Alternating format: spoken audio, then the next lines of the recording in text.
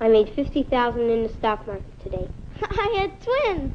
I went to the poor farm. I'm on Millionaire Acres. That's life. The game of life. The game of life. You will learn about life when you play the game of life. First you start out with 2,000 and a car. I got a car. You got a car. Then you may go straight to college just to get a lot of knowledge.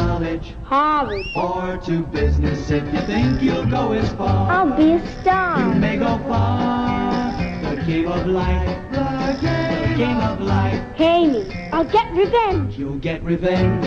I've got revenge. Got revenge. Milton Bradley makes the